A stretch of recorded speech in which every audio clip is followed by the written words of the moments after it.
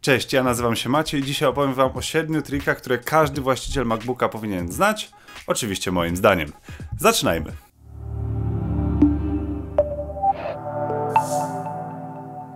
Pierwszy trik to gratka dla tych osób, którzy mają zarówno MacBooka, jak i iPhone'a, ponieważ okazuje się, że pomiędzy tymi urządzeniami tworzy się wspólny schowek, co oznacza, że gdy jesteście w, na przykład w internecie, w Safari, możecie zaznaczyć jakiś kawałek tekstu, skopiować go, a następnie za chwileczkę wklikując się do MacBooka możecie go wkleić w dowolnym miejscu w jakimś dokumencie, na przykład w Wordzie.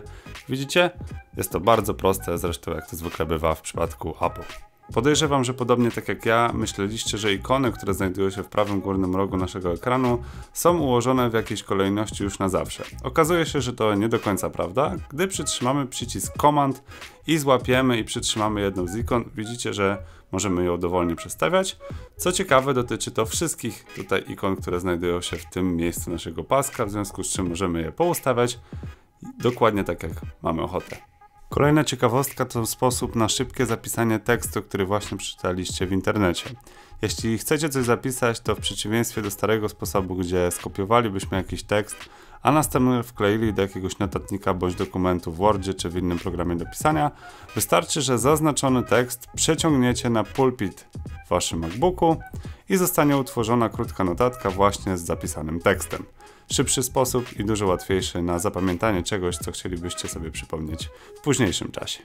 Przyznam wam się szczerze, że jako osoba przyzwyczajona do pracy na Windowsie, zawsze dla mnie utrapieniem na MacBooku było dzielenie ekranu na jakieś równe części, które pozwalały mi na pracę w dwóch aplikacjach. Okazuje się, że jest łatwiejszy na to sposób. Wystarczy, że w górnym lewym rogu naszej aplikacji przytrzymamy zieloną kropkę i po chwili pojawi nam się taki sposób podświetlania tła, tła na dwie części. Wrzucamy aplikację na jedną z tych części, a następnie w drugiej części wybieramy jedną z aplikacji, którą mieliśmy wcześniej otwartą, w tym wypadku akurat dokument w Wordzie. A następnie za pomocą czarnej linii na środku możemy sobie dostosować, jaką część ekranu chcemy poświęcić na co i możemy rozpoczynać przepisywanie tekstu z internetu do naszego Worda. Jeśli jeszcze nie słyszeliście o trybie obraz w obrazie, to to na pewno Wam się spodoba. Zapewne, jeśli jesteście mniej więcej w moim wieku lub młodsi, to macie z tym problem, że lubicie robić dwie rzeczy naraz, czy na przykład pisać sobie jakiś tekst w Wordzie, a w międzyczasie oglądać coś na YouTubie. Problem zaczyna się oczywiście, gdy mamy jeden ekran, ale z tyłu przychodzi z pomocą właśnie funkcja obraz w obrazie. Gdy wejdziemy sobie na YouTube'a i prawym przyciskiem myszy, czyli dwoma palcami klikniemy na nasze wideo, widzicie najpierw pojawia nam się takie ciemne menu, potem wystarczy drugi raz prawym przyciskiem myszy lub dwoma palcami kliknąć i pojawia nam się taka opcja jak otwórz obraz w obrazie. I w tym momencie widzicie wideo zostaje wyświetlone w takim małym okienku. Wystarczy przełączyć się na Worda lub inny dokument i widzicie możemy sobie cały czas odtwarzać to wideo w trakcie pisania naszego dokumentu lub robienia czegokolwiek innego na naszym MacBooku. Jeśli do tej pory, tak jak ja, korzystaliście z Google'a, żeby skorzystać z jakiejś emoji, wyszukaliście ją, a następnie wklejaliście do swojego dokumentu czy do jakiejś wiadomości na MacBooku, no to okazuje się, że jest lepszy na to sposób, bo wystarczy kliknąć Ctrl, Command i spację i pojawia nam się takie przydatne menu, które zawiera wszystkie emoji, które prawdopodobnie będziecie potrzebować.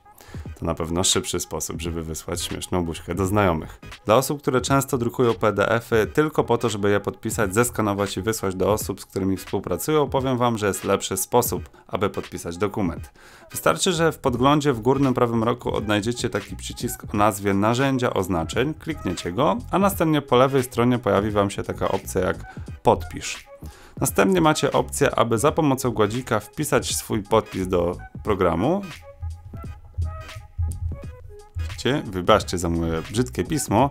Następnie klikamy na przykład spację, gotowe i w tym miejscu pojawi się nasz podpis, który następnie będziemy w stanie umieścić w odpowiednim miejscu naszego dokumentu i tak go zapisać. Gotowe. Co ciekawe, istnieje również drugi sposób, który pozwala Wam utworzyć nawet lepszy podpis, ponieważ podpisywanie za pomocą trackpada może być nie do końca naturalne dla Was, więc widzicie w tej samej funkcji, gdy klikniemy zakładkę kamera, kamera pozwala nam zeskanować podpisaną już wcześniej kartkę. O, utworzy taki podpis właśnie z tego, co napisaliśmy na kartce. Gotowe jak widzicie, ten podpis jest nawet bardziej naturalny niż to, co mieliśmy w przypadku trackpadu. Ok, to już wszystko tym razem, więc jeśli podobał Wam się ten film lub dowiedzieliście się czegoś nowego, to zostawcie łapkę w górę. Oczywiście zachęcam Was do subskrybowania mojego kanału oraz sprawdzenia wcześniejszych filmów, które zrobiłem, również podobnych do tego. No i do zobaczenia następnym razem.